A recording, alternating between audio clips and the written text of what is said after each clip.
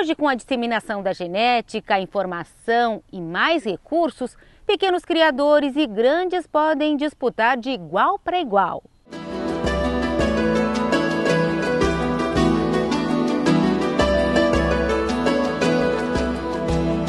Quarta melhor égua prem estampa da Sagarana. O título tem um peso e tanto para Everson, que tem apenas cinco animais da raça crioula.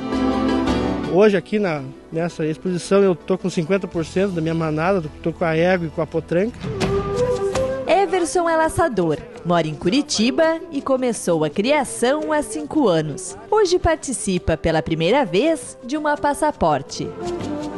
Não esperava que figurasse tão bem a minha égua, mas graças a Deus deu tudo certo e estamos muito satisfeitos. Estampa da Sagarana é escolhida quarta melhor égua prenha. É premiada justo na categoria mais forte da exposição Passaporte de Ponta Grossa, no Paraná. Muito expressivo em número de animais que participaram e também pela qualidade desses animais. Campeã égua prem, gata brava da Vendramin. A Estância Vendramin também faz bonito premia três éguas nesta categoria. Éguas com bastante volume, éguas modernas, compridas, éguas que a gente achava que ia andar bem aqui na exposição. Estância Vendramin e Rancho do Breda, juntos na mesma pista. Para Everson, uma oportunidade de aprender. Tem que comparar o que você produz em casa no meio dos outros, né? Ainda mais é, expoentes da criação, como Mariana Lemanski, o seu Aldo aí, que está despontando muito. Então é um parâmetro para você seguir. O Paraná tem a terceira maior manada de cavalos crioulos do país, com 20,2 mil animais.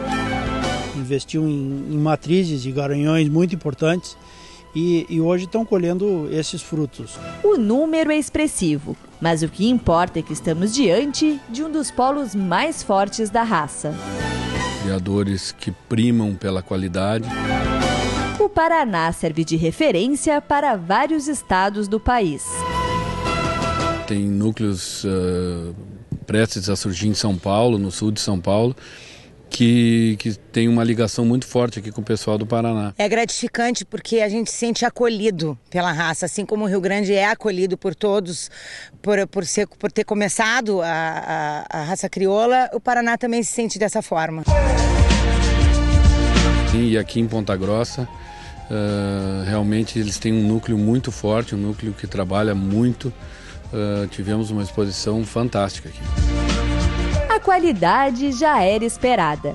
O que surpreende é a participação dos criadores daqui, de Santa Catarina e do Rio Grande do Sul. Mais de 100 animais brigam por uma vaga na Expo Inter.